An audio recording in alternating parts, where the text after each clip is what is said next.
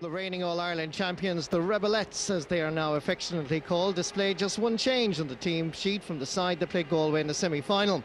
Last year's captain Elaine Burke returns to the starting 15 at number 15 instead of Orla Cotter. Like their hurling counterparts, the Cork team is built around a very strong half-back line containing Rena Buckley, Mary O'Connor and Anna Geary. Complementing the trio is a formidable centre-field partnership of Gemma O'Connor and Briege Corkery. The team captain is right corner back Joanne O'Callaghan. This is the Tipperary team that seeks its sixth All-Ireland title in eight years, but much more significantly avenged last year's defeat to the same opposition. Goalkeeper Jovita Delaney is playing better than ever, with the finest full-back in the game, Una O'Dwyer, soundness personified in front of her. Claire Grogan and Joanne Ryan have knitted together well at midfield, while centre forward Emily Hayden is back to her brilliant best this season. That right wing of Jill Horan and Emer MacDonald look especially dangerous, while the team captain is the number six, Philly Fogarty from Cashel. Approximately 30,000 people in attendance here in Croke Park. Stalemate in the middle. It's Gemma O'Connor that uh, has possession steps away from the challenge, uses the short grip, sends it across over to this side of the field. Cork looking uh, very confident in the uh, early moments. That ball sent in, but it's just about sneaking over the bar. Emer Dillon scores the first point in this All-Ireland final. She scored four times last year, twice in 2004, and she's well on her way here. Yes, great point there from Emer. Probably in one of her better positions playing forward, in corner forward, has played in the half forward line up to now, but she rounded her player there very well and took a point off her left hand. Nice ball inside, but there's nobody in there. Arriving rather late is Jill Horan. Looking around to see if there's anybody inside around the house that's knocked away, but there's a chance here for Tipperary. The Cork defensively for the first time were almost exposed, but uh, good play by Anna Geary. Down for Elaine Burke. Into the middle. And there's a chance here. Jennifer O'Leary bearing down on goal. It's one against one. Jennifer! And Delaney saves magnificently. It's over the bar, but Jovita has done it again for the Premier County. It should have been a goal. Instead, it was a point. It's Cork 2. Tipperary still no score. Jovita very brave to come out there off her line. It was one on one and a crucial um, interception there for Tipperary. Because if, if, they had conceded a goal at this stage, they would have been four points down. Claire Grogan. Aoife Murray happy to bat it out in the sunshine. And it's quite a difficult sunshine for the goalkeepers. the moment in this first half, it's Aoife Murray that has to uh, battle with it. Sent back in towards the centre. Emily Hayden. That's the first score for Tipperary. It took almost just a few seconds short of 11 minutes of the first half for Tipperary to get into the uh, action here.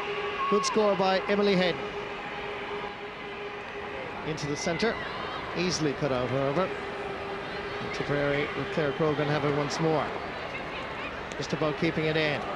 This one is sent in by Rachel Maloney. Jovita is underneath it once more. Both goalkeepers steady and solid between the posts. Here comes Briege Corkery, uses the short grip to avoid being hooked, sends it high and over the bar. A point for Briege Corkery, well worthy of it. She's been very prominent in the early stages. Player of the match so many times uh, before in All-Ireland minor finals and county finals. She is a class act. Three to one in favour of the champions.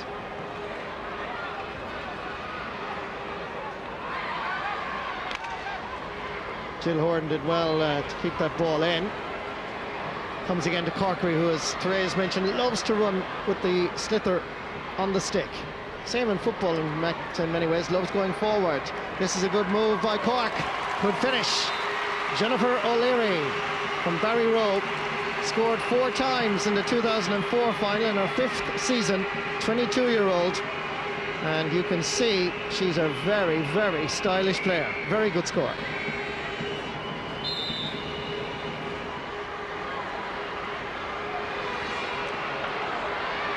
Good work here. Chance of a Tipperary score. And that's over the bar.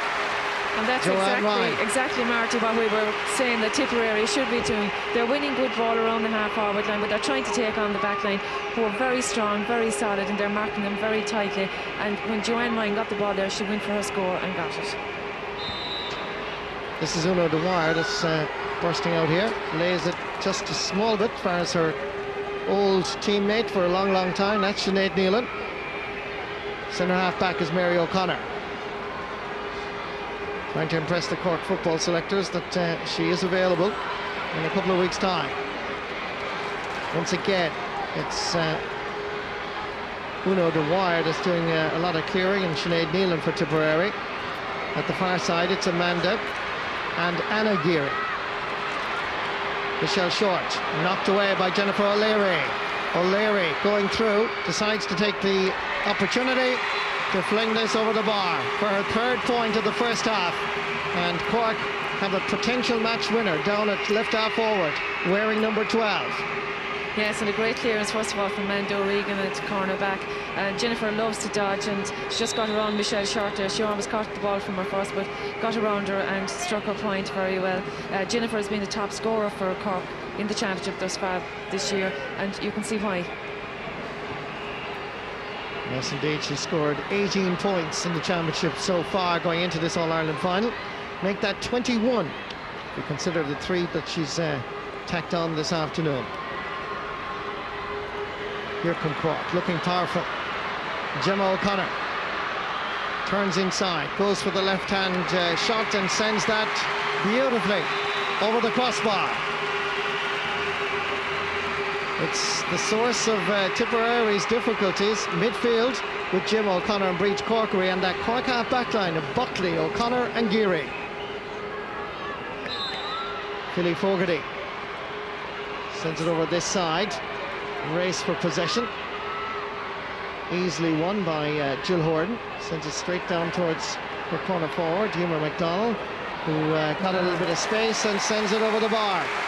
A tremendous score from Emer McDonald. And I was just thinking that Tipperary might do better to bring her out from the corner, because I'd say that's probably the second or third ball she's only hit um, all afternoon. But she has the ability, took that ball very well, just looked and over the bar. Tremendous score from Emer.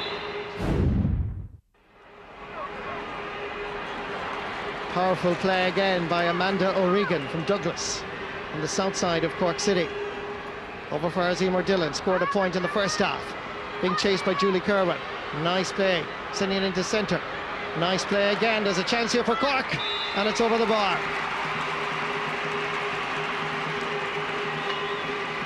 Very good build-up here, but credit as well, the skillful work outside before the pass inside for as Rachel Maloney. She supplied the finish. And here comes Gemma O'Connor once more. Backfires Anna And that is over the bar. Good score by Emer Dillon, getting her second point in this All-Ireland final. Having a wonderful tussle, I must say, because Julie Kirwan is a fabulous corner back. but uh, the two of them here have been tussling all afternoon, and certainly Julie wasn't very far away from preventing Emer scoring that uh, point. But credit Emer Dillon. Dangerous enough ball. Aoife Murray comes off her line. There's a chance here for Tipperary. It's on the goal line and it's saved. And out for a 45. But it's really what the game and indeed what Tipperary need here is a goal. They weren't that very far away. They have yet to score in this second half after 20 minutes of play. There was a chance here for the substitute Trish O'Halloran, but it went out for a 45 here. Claire Grogan going to take this. Dropping it in. Dangerous ball. Aoife Murray knocks it up forward again. Chasing after this is uh, Geraldine Canan. Comes back again. Oh, brilliant save by Aoife Murray. She really has been superb. Every defender in front of her has been playing solidly. And even when Tipperary did get inside the Cork cover, they have to deal with a goalkeeper that's on top of her game. Her positioning, her handling, her diving, her indeed her overall performance has been quite superb. And Cork have it once more. It would break any uh, Tipperary uh, person's heart when they finally get inside that Cork cover. They find that the Cork goalkeeper is on top of her game. Jennifer O'Leary leaving it for Gemma O'Connor. This is Una O'Donoghue being chased by Philly Fogarty. Far more influential since she moved out to uh, the 40, and that's her second point. Seven points between the teams. Cork look well on their way to retaining this All Ireland title. Look at the stick work, look at the balance, and look at the finish here. Excellent. Nice stick work here by Philly Fogarty. Gets inside Briege Corkery. But again, they block it down. Great example of harassment and pressure. Orla Cotter comes away with it. With a minute and a half left in this All Ireland final. Cork fans already beginning to rejoice here at headquarters. Going to be a free for Cork on the 20 metre line, front of the Cusack stand.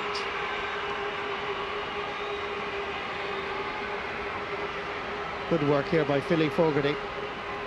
Cork denied Tipperary three in a row last year, but I think Cork are going to be declared All-Ireland champions in about a minute and a half's time, and they will then have put back-to-back All-Ireland titles.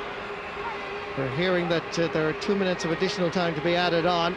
Jennifer O'Leary, difficult enough angle, but her free taking is superb, and that's over the bar. And that point by Jennifer O'Leary is the first point from a free this afternoon.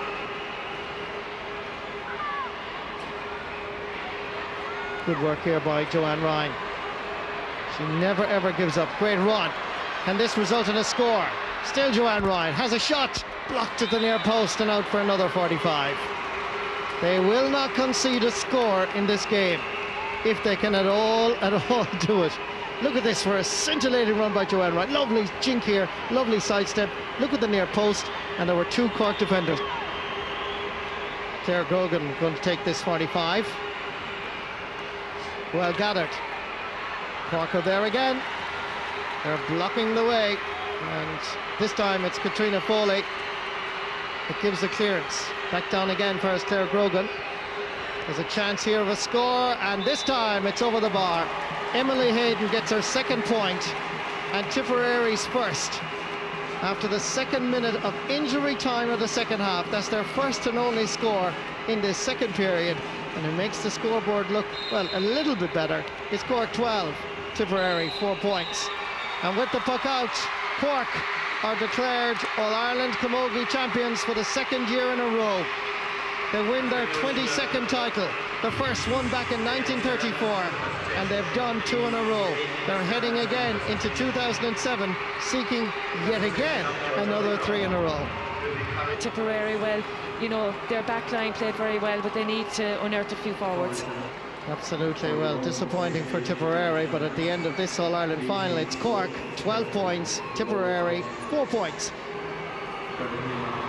This is the moment. Cork, All-Ireland Senior Camogie champions for the 22nd time in their history and for the second year in a row.